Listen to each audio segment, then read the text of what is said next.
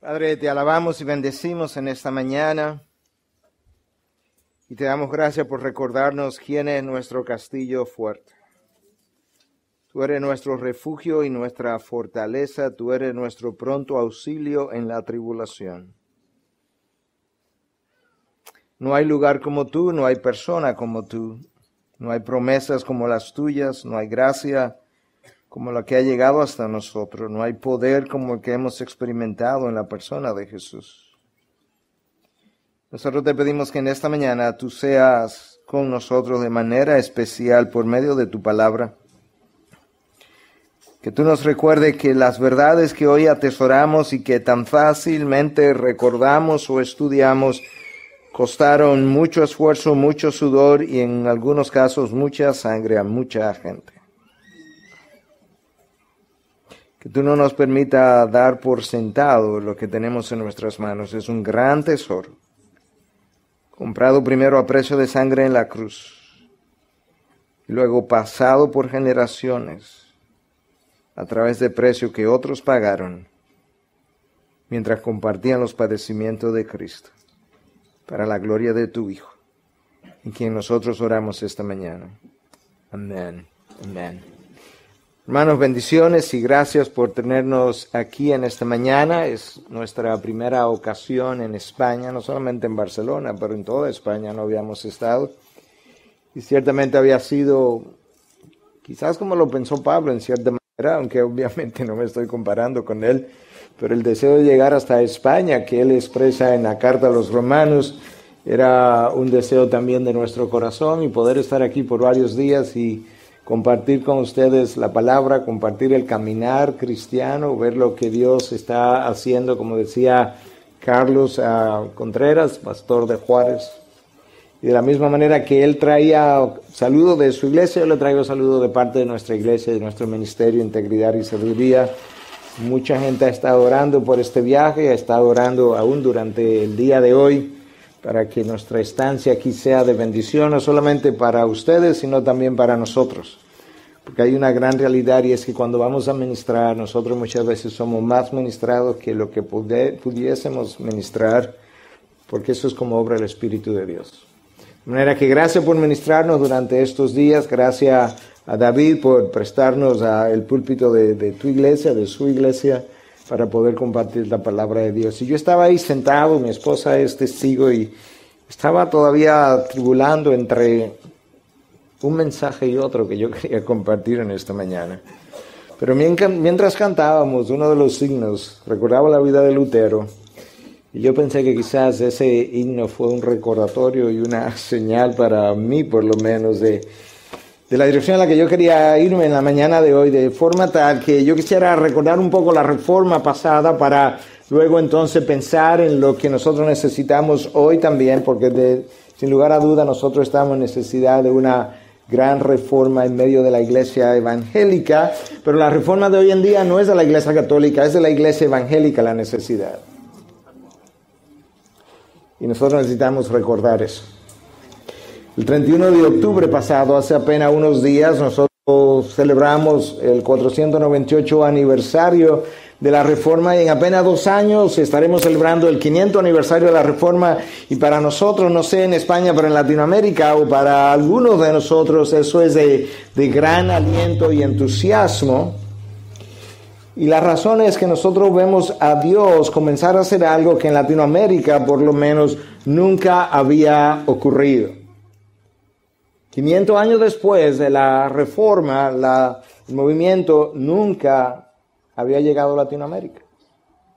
Eso no dice que no hubiese iglesias reformadas en Latinoamérica, pero la reforma no fue simplemente un movimiento de plantación de algunas iglesias con una nueva forma de ver la palabra de Dios. La reforma fue todo un movimiento que se dio dentro de un ámbito religioso, pero que afectó toda una cosmovisión de naciones que cambió el curso de la civilización como ningún otro movimiento. No ha habido ningún otro movimiento más transformador que lo que la reforma produjo en Europa y en lo que es hoy Norteamérica. Y sin embargo, cinco, cinco siglos después, Dicho movimiento, como lo experimentaron dichas naciones, no ha llegado a nuestro continente, a Latinoamérica. Ciertamente, una de las cosas que la reforma hizo fue tomar al hombre, quitarlo del centro y colocar a Dios en el trono donde a él le correspondía estar. Y cuando la palabra de Dios comenzó a ser predicada, con Dios en el centro, sentado en su trono, y los creyentes comenzaron a ser orientados a vivir para la gloria de Dios, no solamente cambiaron las iglesias, sino que cambiaron las naciones donde dichas iglesias fueron plantadas. Y una de las cosas que ha ocurrido, por lo menos en Latinoamérica, es que las iglesias han vivido una fe tan personalizada, tan privada, que el efecto no ha pasado de las cuatro paredes de la mayoría de las iglesias de nuestras naciones en Latinoamérica. Dicen ser hoy más evangélicas y sin embargo son más corruptas, donde hay más drogadicción, donde hay más violaciones, donde hay más robo, más crímenes, y decimos cuál es el efecto de unas de naciones que están cada vez siendo más evangelizadas cuando la sociedad está siendo cada vez mucho más secularizada. Y eso es un indicio de que nosotros estamos en necesidad de una nueva reforma. En la época de Lutero, la controversia, el centro de la controversia estaba alrededor de la doctrina de la justificación, cómo son los pecados perdonados y cómo es el impío perdonado y cómo se alcanza la salvación. Y alrededor de eso había mucho abuso del poder eclesiástico y había mucha corrupción también del poder eclesiástico. Anterior a Lutero se habían denunciado los abusos, se había denunciado la corrupción moral. Savonarola lo hizo en la Catedral de Milán por siete años, años antes de Lutero. Pero en términos de lo que era la pureza doctrinal, nadie lo hizo como Lutero hasta ese momento. Pero hoy en día, en lo que es el movimiento evangélico en los cinco continentes, hay otra controversia que pone en tela de juicio también, de otra manera, lo que es la esencia del Evangelio, pero en esta ocasión no es tanto la doctrina de la justificación, aunque está implicada en ello, por es el llamado Evangelio de la Prosperidad. Yo no he visto ninguna, ah, en la historia incluso, yo no he visto ningún movimiento ah, apóstata tan extendido como este movimiento.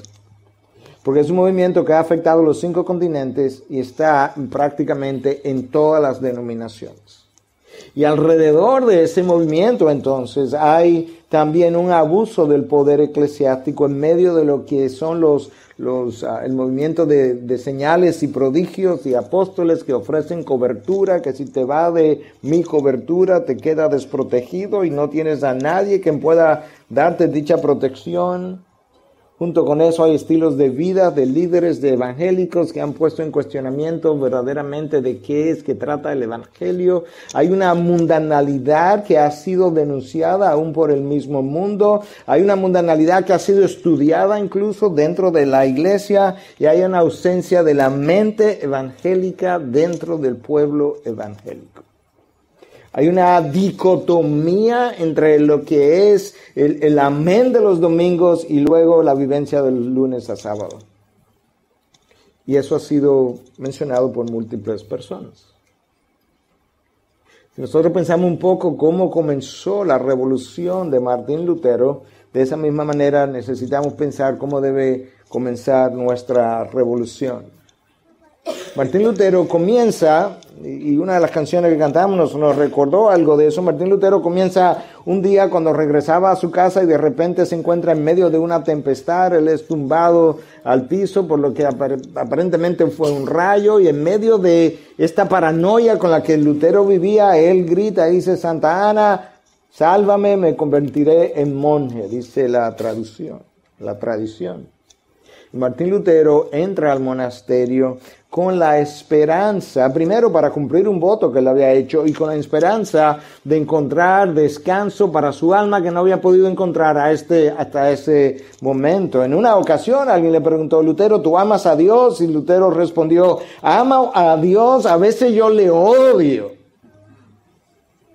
Porque Lutero no podía encontrar paz entre el estado de pecaminosidad en la que él sabía que estaba y el estado de santidad del ser Dios, del ser de Dios. Y entre esa lucha él vivió y no sabía cómo encontrar la paz. Y Lutero comienza a estudiar para dentro del monasterio y él es ordenado dos años después, en el 5, él entra en 1505, dos años después es ordenado como sacerdote, él celebra su primera misa, su padre asistió a su primera misa y fue realmente una vergüenza para su padre cuando Lutero le tocó servir la, servir la comunión y de repente él entiende que tiene en sus manos el cuerpo de Cristo y la sangre de Cristo y Lutero se frizó.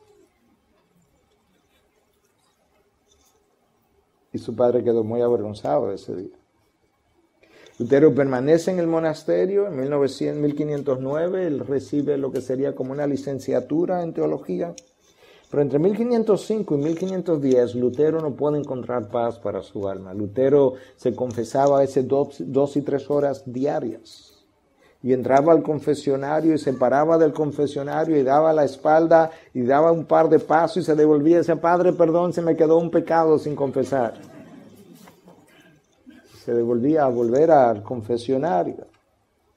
Su supervisor le recomendó que pudiera estudiar y eventualmente ah, enseñar algunos de los libros de la Biblia y ese fue su error. Es ahí donde comienza el problema porque su supervisor lo dirigió a la fuente de la verdad. En 1510 Lutero va a Roma y Lutero pensaba que Roma era como la Jerusalén, ¿verdad? Que él había concebido en su mente y desde lejos cuando vio a Roma le dice, salve Roma.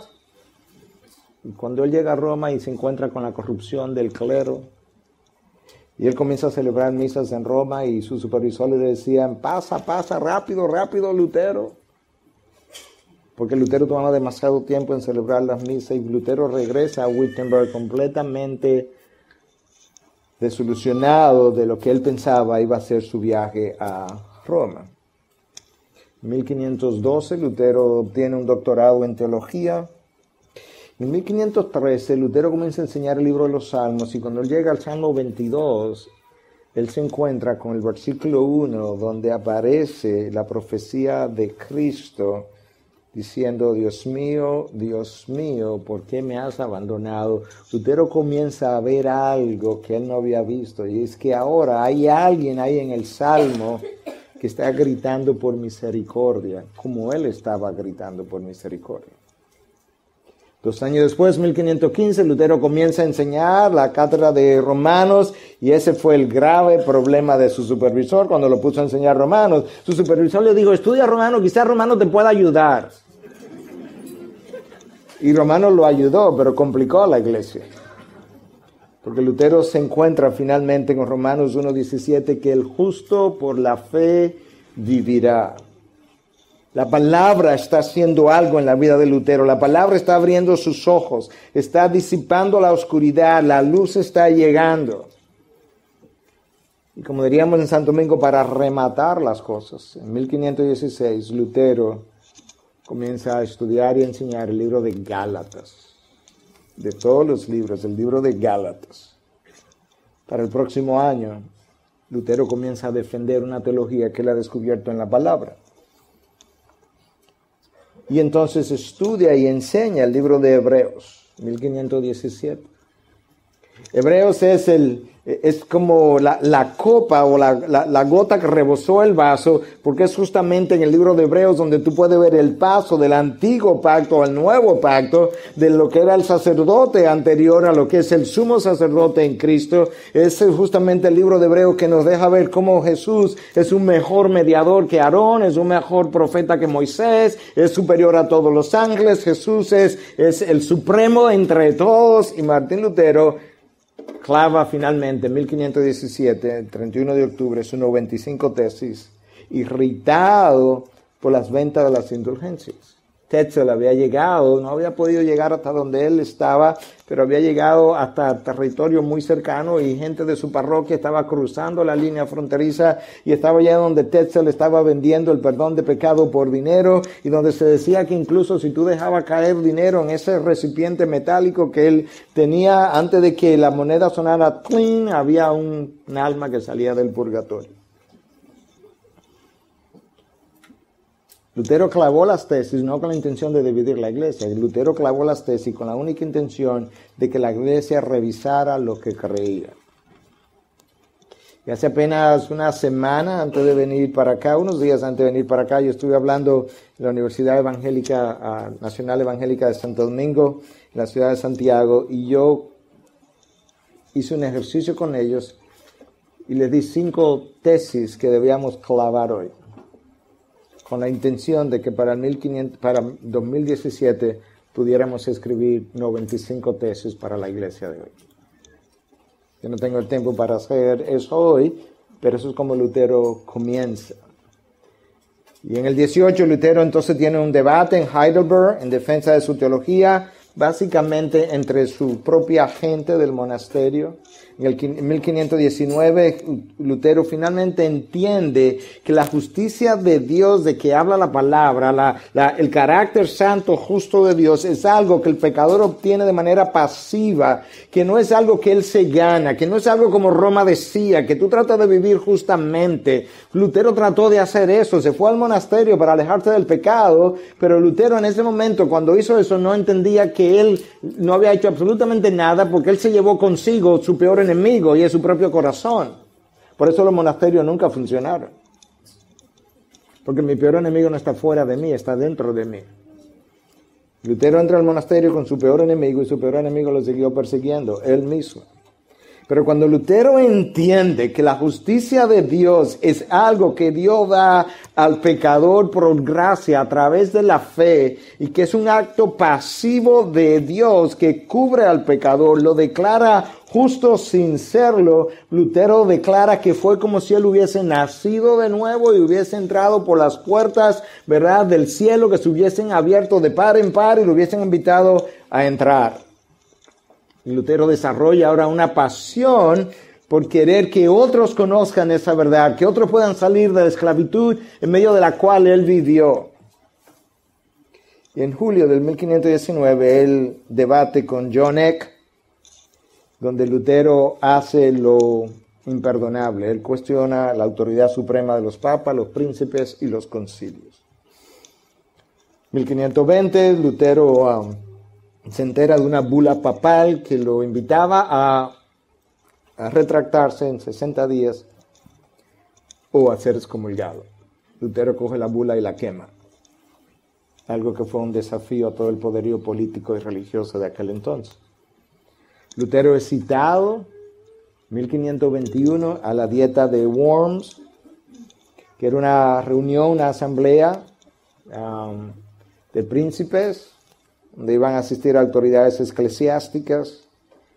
Y Lutero entonces va allí el 17 de abril, donde a Lutero se le pide o se le pregunta que si él se retracta, primero le preguntan si esos escritos que están al lado suyo si eran de su autoría y él responde después de pensarlo que sí, le preguntan que si él se retracta y Lutero pide que le den 24 horas más.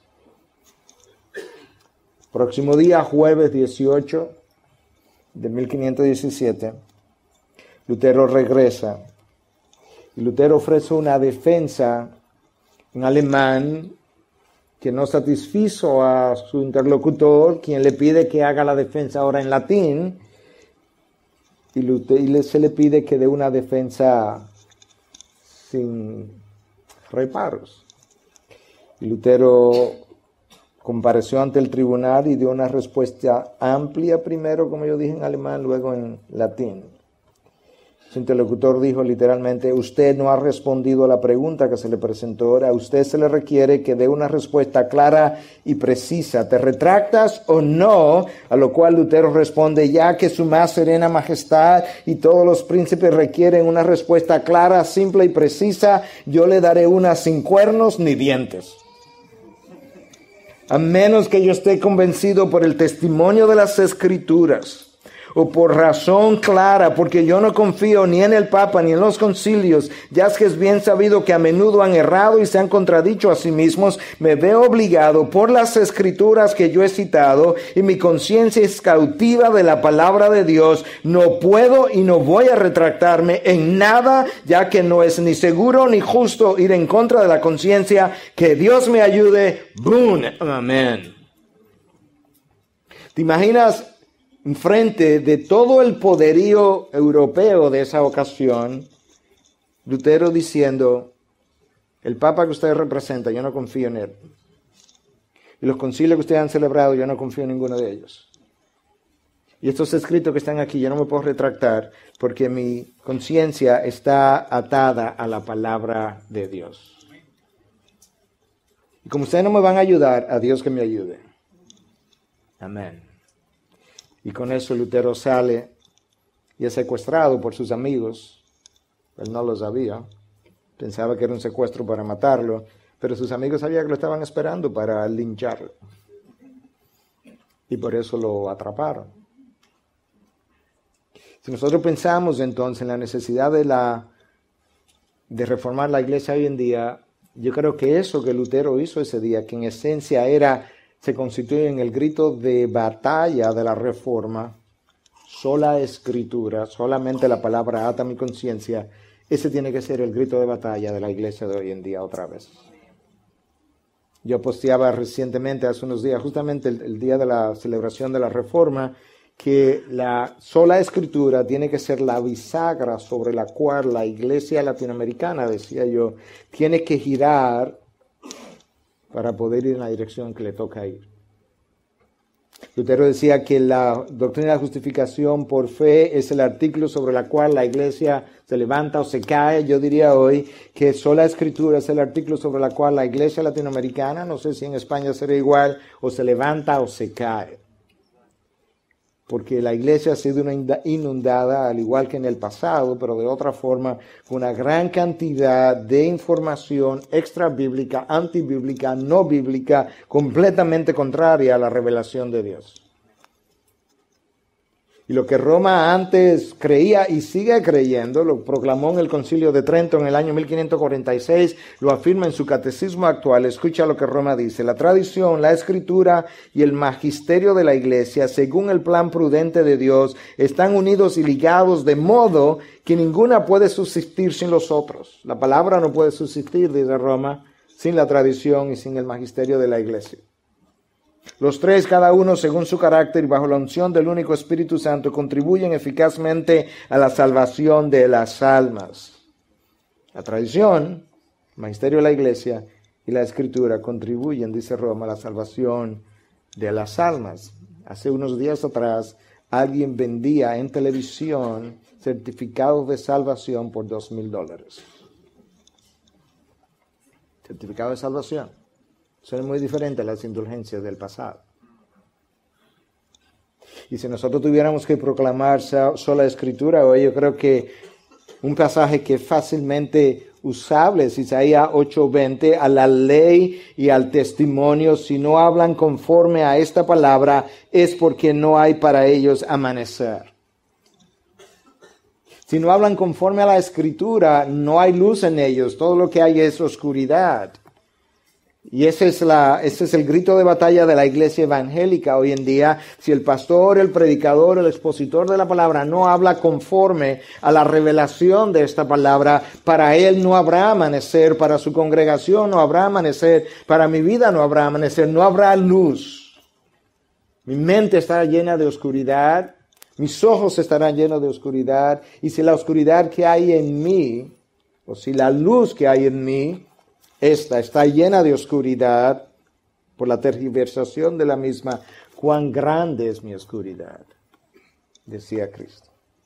Cuando Lutero hablaba de sola escritura, cuando los reformadores hablaban de sola escritura, en esencia estaban hablando de que la palabra de Dios es la autoridad final o la corte de última apelación en todo lo que afirma o implica. No hay otra autoridad por encima de la palabra a la cual yo pueda apelar para poner en, tela de juicio la palabra de Dios.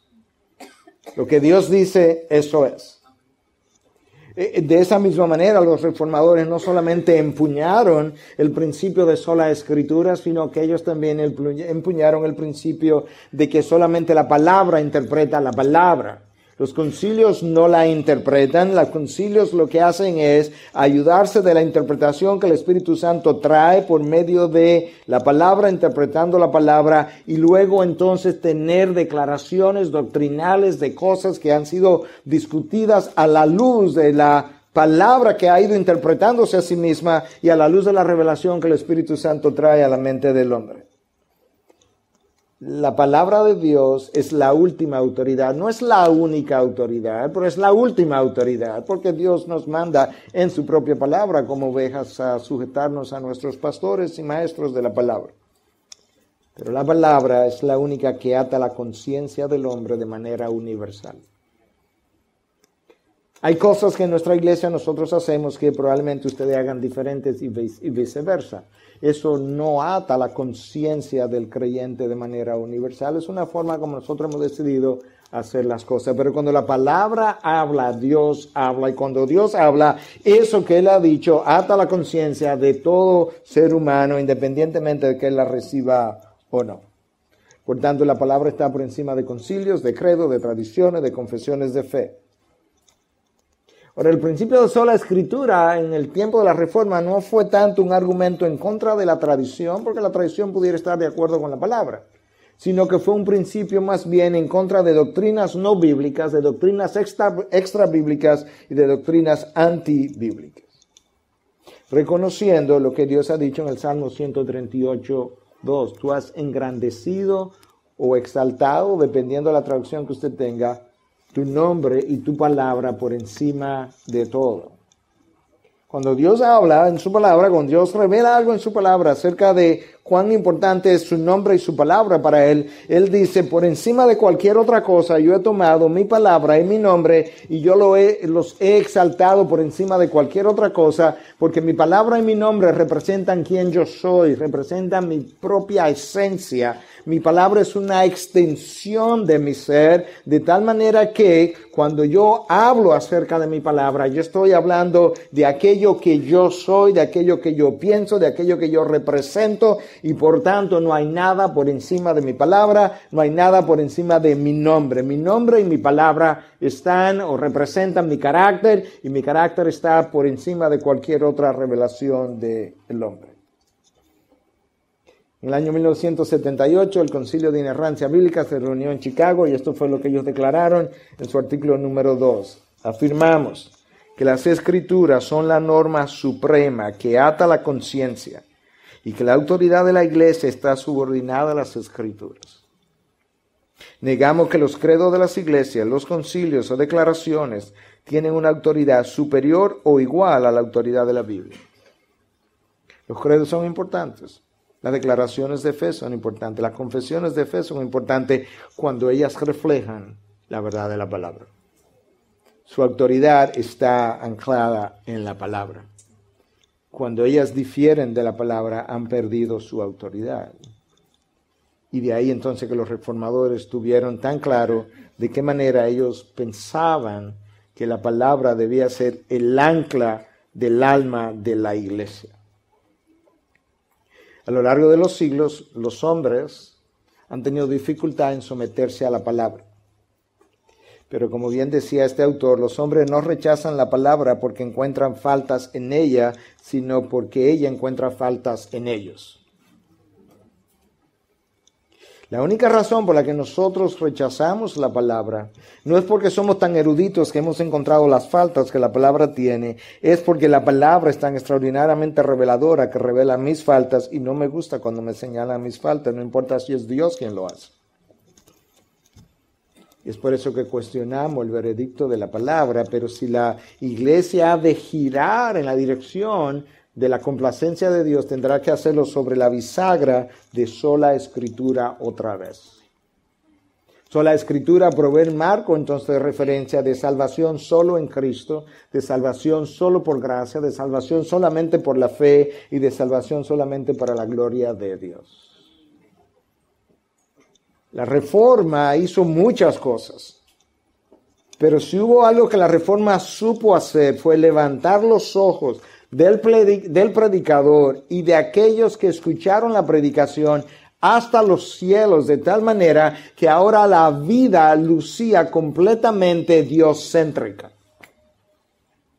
donde la gente podía, si este es el mundo, como ver hacia arriba y luego ver hacia abajo para interpretar el mundo desde la perspectiva de Dios. Estos son nuestros lentes. A través de estos lentes yo veo el mundo. Hasta que yo no me ponga estos lentes, la vida y el mundo luce borroso, luce el sinsentido, las cosas injustas no tienen, no tienen razón de ser. Hasta que yo no me coloque la palabra de Dios como mis mis lentes y de repente yo adquiera una cosmovisión nueva, entonces yo puedo decir, oh, wow, eso es como es.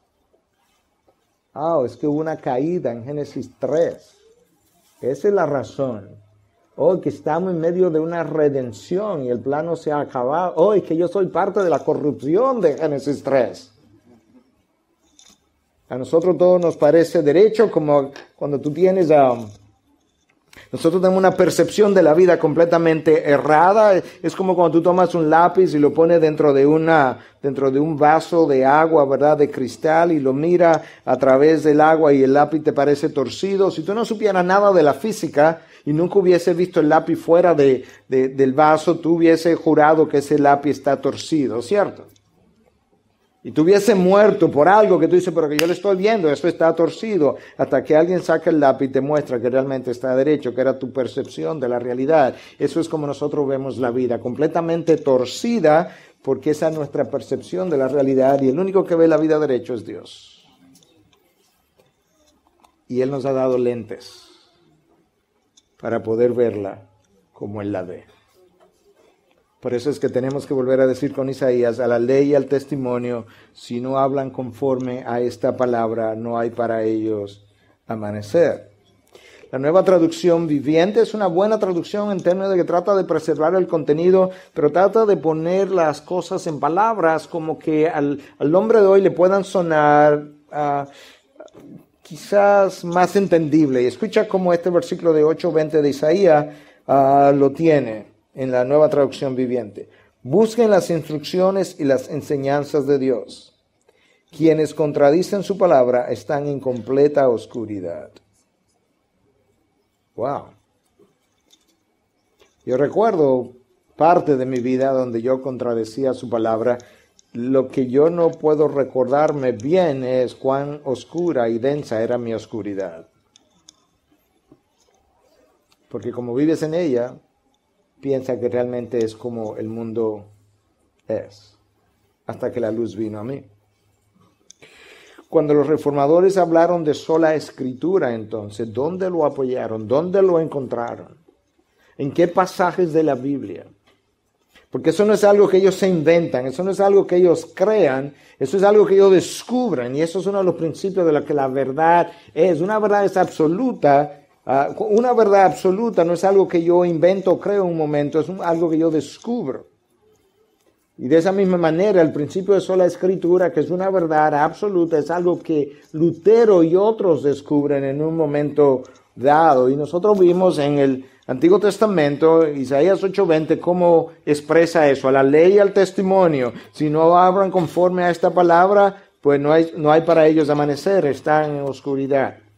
Pero cuando nosotros nos movemos al Nuevo Testamento, nosotros comenzamos a encontrarnos pasajes como este, en 2 de Pedro 1, 20 y 21.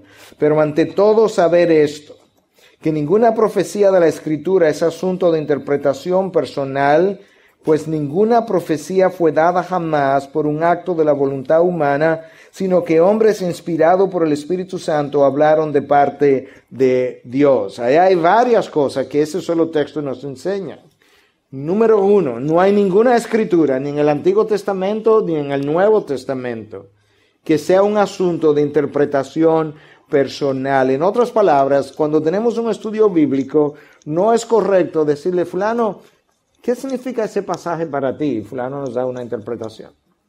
Y, y, fulano para ti, ¿qué significa? Y fulano nos da otra interpretación completamente distinta a esta primera. ¿Y, para ti qué significa? La otra persona nos da otra idea completamente distinta Y al final tenemos que decir, hay un problema y es que ninguna escritura es asunto de interpretación personal. Mm. Entonces el pasaje tiene un significado, aunque pueda tener múltiples aplicaciones. Pero el significado es uno, que lo da el Espíritu de Dios. Entonces ninguna escritura es asunto de interpretación personal. En segundo lugar, de acuerdo al pasaje que acabamos de leer, la palabra no llegó a nosotros como resultado de una intención o deseo o proyecto humano. Escucha, ninguna profecía fue dada jamás por un acto de la voluntad humana. A ningún ser humano se le ocurrió este proyecto de 66 libros. A ningún ser humano se le ocurrió que sería una buena idea poder tener una revelación de Dios. A Dios se le ocurrió revelarse a sí mismo conforme a lo que su ser, carácter, mente es. Y lo otro es que cuando estos hombres, de acuerdo a esta escritura que yo leí, cuando estos hombres escribieron, lo que estos hombres escribieron, lo escribieron inspirados por el Espíritu Santo. No fue una inspiración natural, no fue que alguien se levantó un día temprano en la madrugada y pensó, ¿sabes qué? Yo tengo una inspiración fuerte ahora mismo que me dice que escriba esto. Dios se movió de una manera sobrenatural en el interior, en el corazón de estos hombres, de tal forma que ellos fueron movidos por Dios a escribir la verdad de Dios en la manera como Dios entendió era la más propicia para revelársele al hombre cuando Pablo le escribe a Timoteo, porque esto es una verdad que ellos descubren a lo largo del el Antiguo y el Nuevo Testamento, los reformadores descubrieron eso. Pablo le dice algo similar en 2 Timoteo 3:16. Toda escritura es inspirada por Dios y es útil para enseñar, para reprender, para corregir, para instruir en justicia. Toda escritura, Antiguo Testamento y Nuevo Testamento, los Salmos y el Génesis, los Evangelios y Romanos y Apocalipsis, toda escritura es inspirada por Dios. Theonustos es Theo Dios, nustos, eh, respiración, ha sido exhalada por Dios. Toda escritura es algo que ha salido del interior de Dios hasta el hombre. Y eso nos ayuda a nosotros a entender cómo es que esto llega a nosotros. Porque si la fuente de donde sale es inerrante, lo que llega es inerrante. Si la fuente de donde sale es toda poderosa, pues entonces la palabra es toda poderosa. Si la fuente de donde salió es infalible, pues entonces el resultado debe ser infalible. Y como toda escritura ha sido respirada hacia afuera por Dios, entonces toda palabra recibida es inerrante, es infalible, es poderosa para hacer justamente el trabajo para la cual Dios la hizo salir de su ser.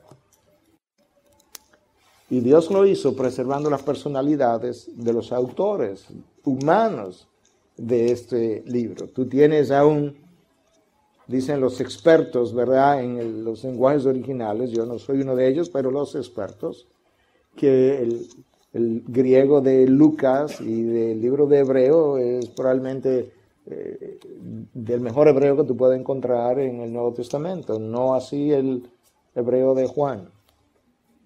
Porque Dios los inspiró de una manera que pudo preservar la personalidad de los autores humanos. Ahora, el principio de violación de las escrituras no es algo del ser humano del siglo XIX o siglo XX o XXI. Es una tendencia del hombre de toda la vida. Tan vieja es la tendencia del hombre de violar la palabra de Dios que comenzó en Génesis. Cuando Adán y Eva violan la palabra de Dios. Cristo habló justamente de cómo en su tiempo la gente violó el principio de sola escritura. Escucha lo que dice Marcos 7:13. Cristo hablando a sus seguidores, invalidando así la palabra de Dios, hablando de los fariseos, por vuestra tradición, la cual habéis transmitido y hacéis muchas cosas semejantes a estas. Vosotros enseñáis tradiciones a los hombres que invalidan lo que Dios ya ha revelado. Eso no es distinto a lo que Lutero se encontró. Eso no es distinto a lo que el punto 95 del Catecismo de Roma hoy enseña, cuando habla de que la Biblia, la tradición y el magisterio de la Iglesia ah, se sostienen de manera igualitaria uno a la otra y que ninguna puede existir sin la otra y que las tres cosas contribuyen a la salvación del ser humano. En la época de Cristo existía exactamente la misma cosa. Gente, quien se llama tradición de hombre, invalidando así la palabra de Dios. Esa es la razón por la que Cristo le dice, todos aquellos de ustedes que están cansados y cargados, venir a mí. Ustedes que han sido cargados y cansados por los fariseos, venir a mí, yo los haréis descansar. Mi carga es ligera, mi yugo es liviano. Si conoces lo que requiero de ti, verás cuán ligera es mi carga. Si conoces que te doy salvación no por el esfuerzo humano, sino por la gracia de mi Padre, mediada a través del Hijo y del Espíritu, tú conocerías cuán liviana es mi carga. Mis mandamientos no son gravosos, pero me pesan. Claro, porque tu corazón los quiere violar y son pesados para tu corazón. Pero si conociera la gran libertad que mis mandamientos te dan, tú entenderías cuán livianos son mis mandamientos. Hasta el punto que el salmista dice, oh, cuánto amo tu ley. La ley que muchos encontramos restrictiva, el salmista dice, no, yo la amo, es más dulce que la miel. Santiago dice, es la ley de la libertad, es la ley que me liberta del pecado, que me quita las amarras, que me quita el peso que el pecado había puesto sobre mis hombros. Es la ley que ayuda a Lutero a salirse de la esclavitud y a encontrar libertad en Cristo. Y Dios nos ha dado esta palabra para que la iglesia como columna y sostén de la verdad que es, de acuerdo a lo que Pablo le revela a Timoteo, en su primera carta 3.15, la iglesia predique sola escritura. Dios no nos llamó a predicar visiones y sueños. El profeta que tenga su sueño, pues que cuente su sueño. Pero el profeta que tenga mi palabra, que hable mi palabra con verdad, ¿qué tiene que ver la paja del sueño con el grano de mi palabra? En la época de Jeremías, esas eran las palabras. ¿Te das cuenta que esto es tan viejo como el hombre? Ninguna iglesia podrá levantarse y sobrevivir sin la autoridad, la guía, la luz, el sostén, el respiro de la palabra de Dios. Esta es la única esperanza de la sociedad. Esta es la única esperanza del hombre. Ayer hablábamos un poco, decíamos, la educación no lo ha hecho, la educación no lo va a hacer. La psicología me describe muchos de los problemas del hombre, pero no me los sana. La sociología me describe mucho los problemas de la sociedad, pero me la deja enliada. Y de esa misma manera, todos los intentos que el hombre ha tratado de hacer para mejorar al hombre han terminado hundiendo al hombre todavía más en su propio fango. Hubo una época en que nosotros pensábamos que la universidad iba a ser la institución de la redención. La universidad no va a salvar, la ciencia, la mente eh, no va a salvar. La universidad vino, la universidad se desarrolló y terminamos peores. Pensamos entonces que el gobierno nos va a salvar. De tal manera que cada cuatro años, en la mayoría de los países se celebran elecciones cada cuatro años, hay una nueva esperanza de que el próximo gobierno nos va a salvar. Pero no hay ningún gobierno que va a salvar ninguna nación hasta que Cristo venga. La única esperanza del ser humano es Cristo su palabra. Eso es lo único que cambia la mente del hombre, es lo único que cambia el corazón del hombre. La mente está en oscuridad, necesita ser iluminada, el corazón es de piedra, necesita ser ablandado, la voluntad está esclavizada, necesita ser libertada. Y eso solamente lo hace el poder del Evangelio. Lamentablemente, la razón por la que nuestras iglesias, en general estoy hablando, no han sido tan efectivas en los últimos años es justamente porque se han alejado del poder de la palabra y han confiado en el poder de los hombres vía estrategias de hombres. Una de las cosas que la palabra hace es que protege, o el principio de sola escritura protege la palabra. Escucha lo que Pedro dice en su segunda carta en 3.16. Asimismo, en todas sus cartas, hablando de Pablo, habla en ella de estos, en las cuales hay algunas cosas difíciles de entender. Imagínate si hay cosas difíciles en la carta de Pablo. que Pedro, que era apóstol, en el primer siglo, que podía preguntarle a, Pablo, dice, Pablo dice algunas cosas que son difíciles de entender. Pero escucha lo que él agrega, que los ignorantes e inestables tuercen, bueno Pedro, pero es que son difíciles de entender, no, espera, como también tuercen el resto de las escrituras para su propia perdición. Ah, es que tuercen las cosas difíciles de entender y las fáciles de entender. Porque la torcedura no está en lo difícil que es de entender, sino lo difícil que es de vivir con un corazón que no ha sido entregado a Dios. Y los ignorantes e inestables tuercen todo, las difíciles de entender y el resto de las escrituras hundiéndose en su perdición. Solo la escritura protege la palabra, justamente para que esto no ocurra. Porque como la palabra interpreta la palabra, entonces la palabra no va a torcer la palabra. Es la palabra que tiene que ayudarme a entender lo que los textos significan. Cuando Cristo dice, por ejemplo, eh, si no odiáis a tu padre y a tu madre, no eres digno de seguirme. Si yo voy al diccionario de la lengua española y busco lo que dice la palabra odio, y yo voy a decir, oh, wow, yo tengo que odiar a mi padre y a mi madre para seguir a Cristo. Yo no voy a seguir esa religión, una religión medio extraña. Pero como la palabra interpreta la palabra, entonces yo encuentro la manera de interpretar ese texto en la palabra que me dice, no, no, no. Es que Cristo está hablando de que en términos relativos, el amor que debe tener por Dios es tan sublime y supremo al amor que debe tener por las personas terrenales, incluyendo a tu padre y a tu madre, que sería casi como odiarlos. De tal manera que si ellos compiten con Cristo, tienen que seguir a Cristo antes que a ellos. Ah, eso es lo que significa. ¿Y dónde está eso? En la palabra, no en el diccionario de la lengua española.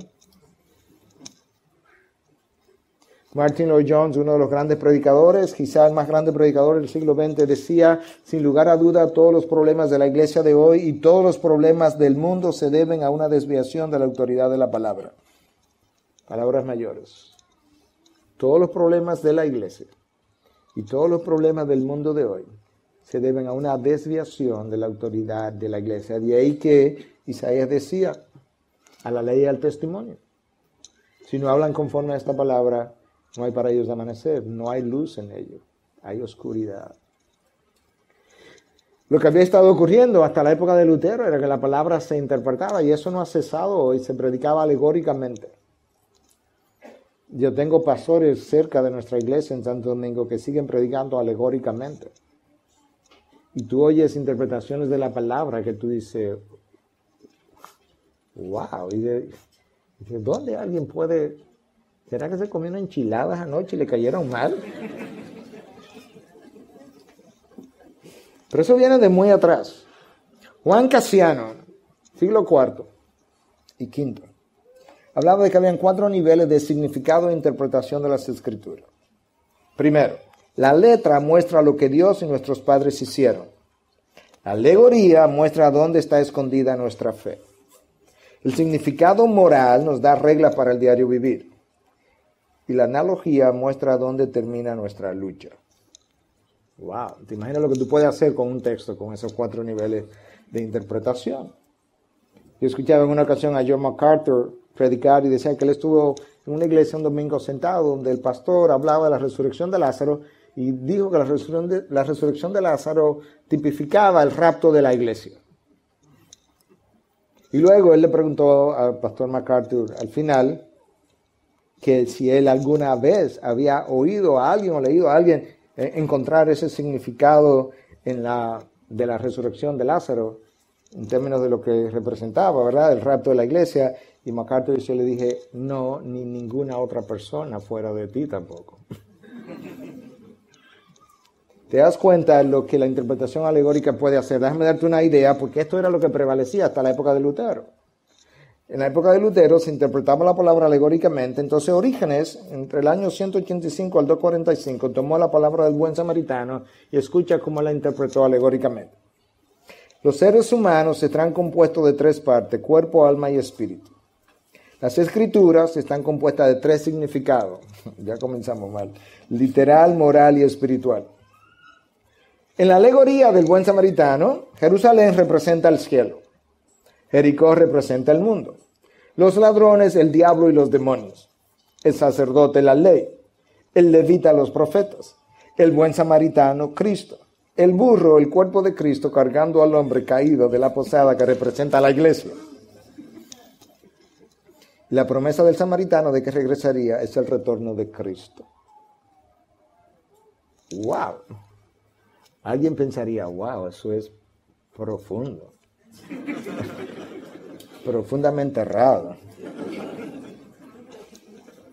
La palabra tiene un significado gramatical, histórico, es un libro, es un libro y como los libros tienes oraciones y verbos y adjetivos y adverbios que funcionan de la misma manera que funcionan en todos los demás lenguajes, y conjunciones y preposiciones. Y nosotros tenemos que interpretarlo con la ayuda del Espíritu Santo, la palabra interpretando la palabra, pero leerlo de la manera que leemos literatura. Un nombre es un nombre, un verbo es un verbo. Una frase es una frase, una oración es una oración. Entonces, a la hora de pensar en sola escritura, que esa le preguntaba a David ayer, David, ¿en qué dirección quieres que, lleve el mensaje? Me enfatizaba mucho que, pudiéramos volver a enfocar el principio de sola escritura. Y es sola escritura lo que abre los ojos de Lutero. Porque cuando Lutero comienza a entrar a los salmos y llega al Salmo 22 y se encuentra con Cristo ahí, Dios mío, Dios mío, ¿por qué me has abandonado? Lutero está pensando, acá hay otra gente que está pidiendo misericordia. Cuando Lutero llega a Romanos y se encuentra con que el justo por la fe vivirá y que el Evangelio es el poder de Dios para salvación, eso comienza a despertar a Lutero cuando Lutero llega a Gálatas y se encuentra de que realmente tú no puedes volver a las obras de la ley después que ha comenzado por gracia y luego llega a Hebreos y se encuentra que Cristo nuestro sumo sacerdote y quien es quien intercede por nosotros y que este otro sacerdote anterior ha quedado atrás, la palabra hace que Lutero vuelva a la vida y, y nazca de nuevo y se sienta completamente libertado para siempre. Lutero había llegado a Roma pensando que la tradición que enseñaba que cuando tú subías hasta el Papa por la escala santa, la escalera santa por donde se supone que Cristo subió hasta Pilato y que todavía Roma tiene ahí bajo vidrio hoy en día, que cuando tú subías por ahí, que tú subías de rodillas y decía un Padre Nuestro en cada escalón, que antes de tú, cuando tú llegabas al final de la escalera, que un alma salía del purgatorio si tú hubiese dedicado esa subida de esa manera por el nombre de esa persona. Y Lutero decía, lo único que yo lamento es que mi padre y mi madre están vivos para poder subir ahí en nombre de ellos, para que cuando ellos mueran salgan del purgatorio después de yo haber subido. Y Lutero comienza a subir, dice la tradición, la escalera, y cuando llega arriba dice, ¿qué clase de tradiciones y locuras nosotros creemos? Y se devuelve y nunca llegó a ver al Papa, quien él quería ver. Lutero entendió el principio de sola escritura. Sola, escritura en términos prácticos implica que la palabra número uno está inspirada, ha sido inspirada por Dios, ha salido de Dios. Número dos, la palabra es completa. La razón por la que no necesitamos nada más es porque Dios nos ha completado su palabra y cerró su canon. Como la palabra es inspirada por Dios, ha salido por Dios, la fuente es inerrante, la escritura no tiene error. Y de esa misma manera la escritura tampoco es, la, escritura también es infalible. Esas dos palabras hasta el año 60 básicamente eran usadas de la misma manera, pero debido justamente a gente que le gusta encontrar la quinta pata al gato, decimos nosotros, Hubo que separar y entonces hoy inerrante implica que no contienes errores de ningún tipo e infalible implica que no te va a guiar mal cuando te da instrucción en una dirección, no te va a enseñar el camino de la salvación y al final tú vas a encontrar que te llevó a la perdición, no va a fallar en lo que afirma, en lo que asevera cuando te dice algo la escritura implica que la palabra es la última autoridad, la suprema autoridad en materia de fe y práctica. Cuando la palabra habla, Dios habla. Sola escritura también implica toda escritura, toda la escritura. La inspiración ha sido verbal, palabra por palabra. El Salmo 119, 160 dice, la suma de tus palabras es verdad. Tú la tomas una por una, tú la sumas y cuando llegas al final, la suma de tus palabras es verdad. Cada una de ellas. Sola escritura implica, como dijimos, que solamente la palabra obliga, ata la conciencia de manera universal. Sola escritura no elimina el valor de los concilios, de las confesiones de fe, porque mucha gente ha pensado, reflexionado a través de la palabra para llegar a confesiones de fe, a través de concilios y demás y de credos, pero ellos tienen que coincidir con la palabra. Cuando ellos no coinciden con la palabra, la palabra entonces los suplanta, los reemplaza. Sola escritura dice que ninguna palabra es asunto de interpretación personal. Uno de los problemas de la sociedad del siglo XX y XXI que es tan individualista que cada cual quisiera darle el significado que más le convenga a su situación a la hora de leer la palabra, pero la palabra prohíbe eso. Sola escritura implica también que hay reglas de interpretación. Nosotros no sumamos o restamos o multiplicamos o dividimos conforme a las reglas que a mí me parecen más convenientes. Hay reglas de matemáticas, hay reglas de interpretación y una de las primeras es la palabra es su propio intérprete. Tan sencillo como eso la escritura no nos permite despegarnos del pasado y salir hoy con interpretaciones que nunca nadie jamás había soñado. Es una de las cosas que yo quisiera estar seguro. Cuando yo predico un texto de la palabra, que, que alguien no haga el ejercicio y diga, pastor, en la historia de la iglesia, en dos mil años en la iglesia, a nadie jamás se le había ocurrido una idea como esa. Eso a mí me atemoriza. ¿Por qué? Porque la historia del pueblo de Dios es una sola historia y Dios va, ha ido agregando sabiduría y sabiduría y sabiduría a lo largo de las generaciones. Y de alguna manera yo quiero pensar que lo que yo pienso de ese texto, otros iluminados por Dios que han ido primero, quizás con más sabiduría que yo, también ha pensado algo similar. So, la escritura dice que la palabra juzga a la iglesia, no al revés. Yo no interpreto la palabra, la palabra me interpreta a mí. La palabra me dice, tú eres un hombre pecaminoso, tú estás en necesidad de perdón. Yo no le digo a la palabra, esa no es la manera de yo arrepentirme, yo tengo mi propia forma. So, la escritura requieren de hombres y mujeres que manejen la palabra de verdad con precisión. Pablo dice eso a Timoteo. Procura presentarte ante Dios como obrero que no tiene de qué avergonzarse, que maneja la palabra de Dios con precisión. Sola escritura requiere de hombres y mujeres que a la hora de estudiarla, a la hora de enseñarla, puedan manejar la palabra de Dios con precisión, ortotomeo, que la corten derecha, que no se desvíen, que entienden lo que están manejando, que es el carácter de Dios, la mente de Dios, la sabiduría de Dios, la esencia de lo que Dios es. Yo no puedo manejar eso a la ligera. So, la escritura me recuerda que la palabra es útil para enseñar, para corregir, para instruir en justicias. Pastor, pero hay cosas que la palabra no me explica, sí es verdad, pero Dios nos dijo eso. Si hay algo que yo aprecio de Dios es cuán honesto Él es cuando Él revela su palabra. Y Él me dice en Deuteronomio 29, 29, las cosas reveladas, esas te pertenecen a ti, a tu descendiente, pues las cosas secretas me pertenecen a mí. Entonces, cuando hablamos, por ejemplo, de la doctrina de la elección, de la predestinación, pero es que Dios nos revela por qué Él elegía a uno y no a otros, no, Él no lo revela. Porque esas cosas le pertenecen a Él. Pero Él me lo dijo. Él me dijo, hay cosas que yo no te voy a decir. Pastor, pero eso no es justo. No, hay cosas que usted no le dice a su hijo de dos años, tres años. ¿Usted le explica a su hijo de tres años cómo se hace un hijo? ¿Cómo a él lo hicieron? La noche que usted y su esposa lo hicieron, no, usted no se lo explica. ¿Por qué? Porque usted no quiere que él entienda, no, porque él no lo puede entender. Usted se puede pasar una semana explicándoselo y él no va a tener idea de que usted está hablando. De esa misma manera, Dios tiene muchas cosas que nos va a revelar posteriormente, pero ahora no tiene ningún sentido que nos las diga porque no las vamos a entender. Y otras las vamos a entender y las vamos a mal manejar. Imaginémonos que Dios me revelara a mí a quién Él ha elegido y no ha elegido. Y esta mañana yo tengo cinco hermanos. Estos dos no, estos tres sí. Estoy hablando de ustedes tres, estos dos no. Yo haría mucho daño si supiera todo lo que Dios sabe. Pero si supiera todo lo que Dios sabe, yo haría exactamente lo que Él está haciendo hoy en día. Si nosotros supiéramos todo lo que Dios sabe, nosotros haríamos exactamente todo lo que Dios ha hecho en el mundo desde el día uno hasta el día de hoy.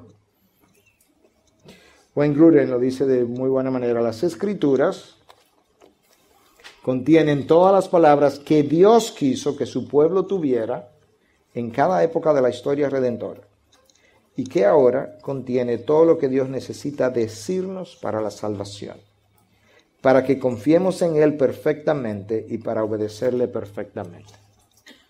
Cuando decimos que la palabra de Dios es suficiente, tenemos que calificarla, porque la palabra de Dios no es suficiente para operar a alguien de apendicitis, porque no habla de apendicitis, no es un libro de medicina pero de aquellas cosas que habla es suficiente. Y Dios le reveló al hombre todo lo que él necesitaba saber. Entonces, si esto es la palabra de Dios,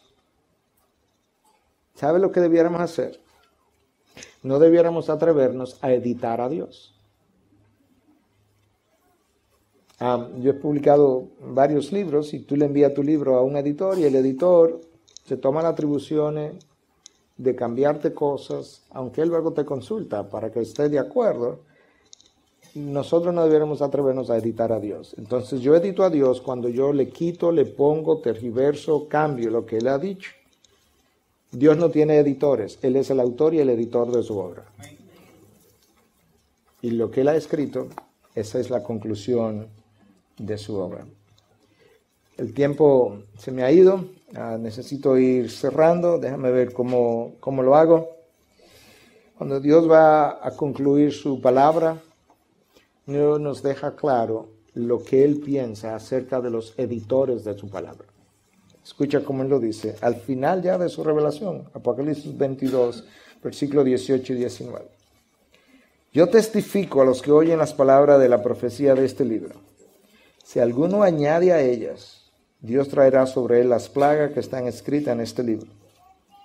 Y si alguno quita de las palabras del libro que esta, de esta profecía, Dios quitará su parte del árbol de la vida y de la ciudad santa descritas en este libro. Si le quitas, si le pones, Dios toma eso muy seriamente.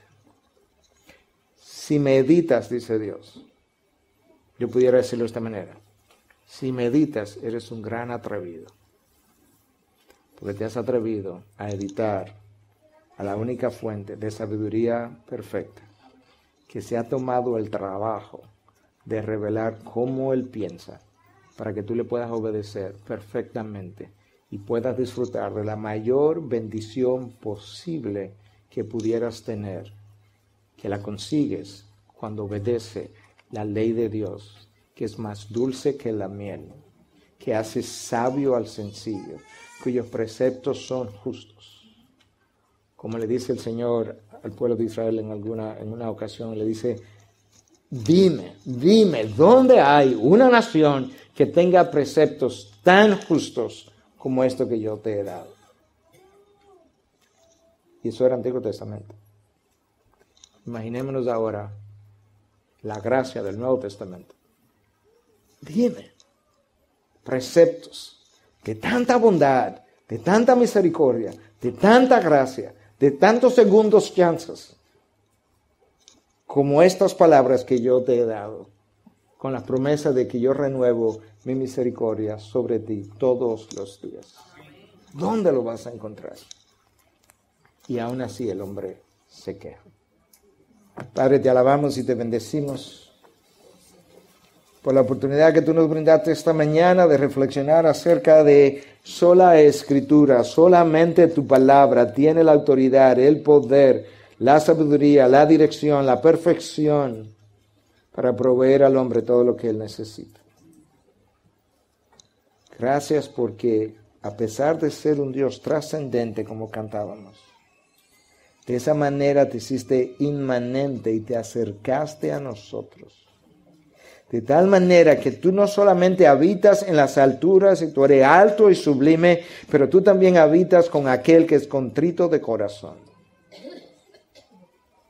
Gracias Dios por acercarte a cada uno de nosotros. Y te acercaste tanto que nos diste a tu Hijo,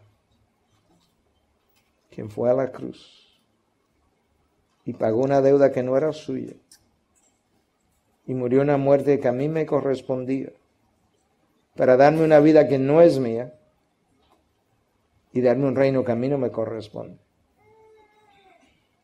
Y cuando yo era tu enemigo, Tú me diste a tu hijo y ahora tú me llamas hijo también. Y tu hijo me llama hermano. Y no se avergüenza de llamarme hermano. Y tú me has hecho coheredero con él. Pero yo no entiendo eso. Yo no entiendo cómo yo puedo coheredar con Cristo, el unigénito de Dios. Pero yo lo creo porque tú lo dices. Gracias por tu herencia en Cristo. Gracias por tu amor en Cristo. Gracias por tu palabra escrita en nuestro idioma, en múltiples versiones, en múltiples formas hoy en día. Gracias Dios por la bendita y grande bendición de estar vivo en esta generación, donde tu palabra escrita está más cerca de la población que de cualquier otra generación. Ayúdanos a aquilatarla Ayúdanos a abrazarla. Ayúdanos a proclamarla. Ayúdanos a obedecerla. Ayúdanos, a transmitirla. En Cristo Jesús. Amén.